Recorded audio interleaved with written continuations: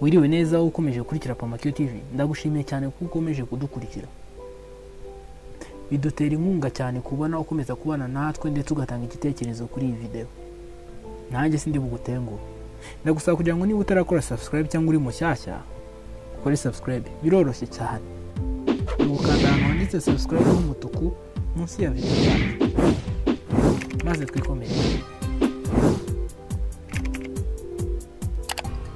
mu bihugu bitandukanye ku isi hagaragara ibintu by'amayobera. Na n'ubu abashakashatsi bakomeye ku isi ntibarabona uko babisobanura. Niyo mpamvu kuri ubu ngubu twabategurira ahantu icumi hateye amayobera ndetse n'ubwoba ku isi. Ahambere cyangwa se reka duhere aha cumi. Reka duhere ku mwanya wa cumi.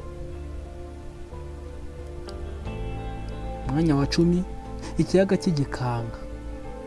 Cyangwa se skeleton lake. Iki kiyaga giherereye mu gihugu cy'ubuhinde kikaba cyararanzwemo amagufwa y'abantu arenga ibihumbi cyangwa se arenga magana abiri. 200 skeletons. Bivugwa ko ari abasirikare b'ubuyapani bapfiriye mu ntambara ya kabiri y'isi. Aya magufwa ngo rimwe na rimwe ajya azamuka akareremba hejuru. Umwanya wa cyenda. Isumo ry'amaraso. Blood fall. Iyi sumo iri mu nyanja atlantique. Umuntu wese uhageze atangazwa no kubona amaraso atemba mu nyanja. Abashakashatsi bakomeje kwibaza ikiba gitera iryo bara ry'umutuku baza kuvumbura ko harimo ikinyabutabire cya iron gituma amazi aba umutuku. Baheraho bahita isumo ry'amaraso cyangwa isumo y'amaraso. Ku mwanya wa munani haraza igishanga cy'urupfu Red Track Playa cyangwa se Death Valley National Park. Tugenekereje mu kinyarwanda twahita pariki y'igihugu cy'igishanga cy'urupfu. Muri California ahantu utarebye neza wahasiga ubuzima kuko haba amabuye agendagenda moving stones. Mu gihumbi kimwe na magana cyenda na cumi na gatanu abahanga bagerageje gushaka icyaba kibitera baraheba. Mu myaka mike ishize muri bibiri na cumi na rimwe itsinda ry'abandi bashakashatsi bavumbuye ko hari imbaraga ziva mu butaka zituma amabuye yaho adahama hamwe akaba ariyo mpamvu amabuye yakumye agendagenda umunsi ku wundi. Ibyo byose hano hantu ushobora kuba wahagendera ugashiduka wahasize ubuzima kubera uburyo udashobora kuba waguma ahantu hamwe. Yo ubwayo yakwijyanira. Ku mwanya wa karindwi old faithful yellowstone national park. Muri iyi pariki y'ubukerarugendo iherereye muri leta zunze ubumwe za amerika hari ibintu bita geysers bituma amazi y'aha hantu ashyuha cyane bigatuma asimbuka cyane mu kirere metero ziri hagati ya mirongo itatu n'eshanu na mirongo itanu buri minota mirongo itanu n'itanu bikamara hagati y'iminota ibiri n'itanu. Ibi bikaba bikurura ba mukerarugendo ku buryo buri mwaka hasurwa n'abantu miliyoni eshatu na magana atanu baturutse imihanda yose y'isi. Aha hantu kuhareba ni heza pe.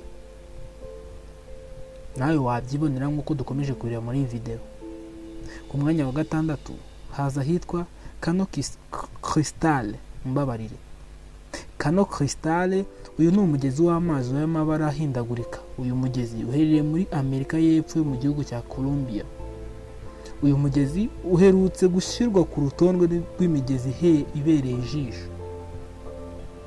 The most beautiful river in the world. Iyo bigeze mu mpera z'umwaka kuva mu kwa cyenda kugeza mu kwa cumi n'umwe ibara ry'aya mazi rirahindaguranya rikaba umutuku ubururu icyatsi umuhondo ndetse n'iroza. Muri make uba ubona ari ibintu byiza cyane nk'uko twakomeje kubireba ku mafoto muri videwo aha hantu nawe ufite ubushobozi wahasura. Umwanya wa gatanu. Aha hantu haragoye ubwaho no kuhareba kuko utana. Ni heza ariko ntiwakifuza kuba wahagera. Uyu musozi uherereye mu bushinwa ukaba ufatwa nk'ahantu hatagatifu kuko banahise ubusitani bw'imana. Uruhurirane rw'amabuye n'ibimera bihabarizwa biteye ku buryo budasanzwe? Nabyo biri mu bikurura abantu benshi. Ni heza pe. Bahita sangwishani sangwishani sangwishani ni mu bushinwa nk'uko twakomeje kubivuga. Ku mwanya wa gatanu haza ahitwa okiga iri ni ishyamba rigaragara ku gasongero k'umusozi witwa fuji. Iri shyamba rigizwe na hegitari ibihumbi bitatu na magana atanu. Bivuga ko aha hantu hatuwe n'imyuka mibi ndetse n'abazimu ghost diamonds and spirits. Aha hantu hakaba haragizwe ahantu ha kabiri kwica abantu benshi kuko buri mwaka hapfira abantu barenga magana atanu. Ibi bintu biteye ubwoba. Nk'uko dukomeza kubireba mu mafoto muri videwo ni ahantu nawe ushobora kuba utakijyana wenyine. Ndetse niyo wari kumwe n'abantu ntabwo byoroshye kuhagenda. Ku mwanya wa gatatu haza ahitwa mines of paris. Ubu ni ubuvumo buri mu mujyi wa paris. Hakurura ba mukerarugendo batari bake kubera ibyumba byinshi kandi byiza bihaba. Aha hantu buri wese niyemerewe kuhagera kubera amagufwa y'abantu ahari bigatuma haba hateye ubwoba ku buryo hari n'aberura bakavuga ko ari ikuzimu. Mu by'ukuri ntawe ibi bintu wabivuga bitewe n'uburyo hagaragara. Ku mwanya wa kabiri haza ahitwa door to hell cyangwa se urugi rujya ikuzimu. Aha ni muri turkmenistan cyangwa se muri turkmenistan ahantu hacanze abantu benshi cyane kubera ko abashakashatsi mu gihumbi kimwe na magana cyenda na mirongo irindwi na kabiri bacukuye cyane bashaka kugera kuri gaze gusa guhera icyo gihe kugeza ubu umuriro uba urimo kwaka amasaha yose kugeza n'ubwo perezida wa turkmenistan yasabye ko hafungurwa ariko biranga birananirana aha hantu naho ubwaho hateye ubwoba cyangwa hateye amayobera. Hahora haka cyane niyo mpamvu abantu bihitiyemo kwita urugi cyangwa se amarembo y'ikuzimu. Ku mwanya wa mbere haraza ahitwa shato miranda.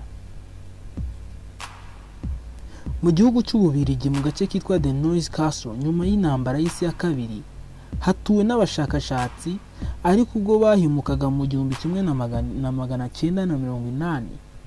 Ubu iyo bigeze mu ijoro humvikana amajwi adasobanutse menshi kandi uba wumva ateye ubwoba. Ikindi kizwi kuri iyi shato mihanda ni inyubako nini cyane ariko kuva igihe yubakiwe isaha yayo iracyakora. Yego isaha ntiri ku gihe ariko iracyazunguruka kugeza ubu hibazwa tekinoloji yakozwemo ariko kugeza ubu yarayoberanye. Shato mihanda. Ni inzu yaretswe cyangwa se iri abandoned ku buryo nta muntu ukiyijyamo ahubwo isurwa bisanzwe. Yavuguruwe yongera ivanwamo abantu bavamo. Kugeza ubu ntiharamenyekana impamvu kuko yigeze no kuba ikigo kireba imfubyi shato mihanda ndagushimiye cyane kuko ukomeje gukurikira pamakiyo tv icyo ngusaba ni uko waduha inyunganizi yawe cyangwa igitekerezo kuko ari inkunga ikomeye kandi duha agaciro. Komeze ukurikire pamakiyo tv kuko tugufitiye inkuru nyinshi kandi zicukumbuye. Ntukikwe na posita ikurikira ivuga ku mazu ateye ubwoba hano ku isi utaruzi. Ndetse n'ibiberamo bitangaje. Murakoze.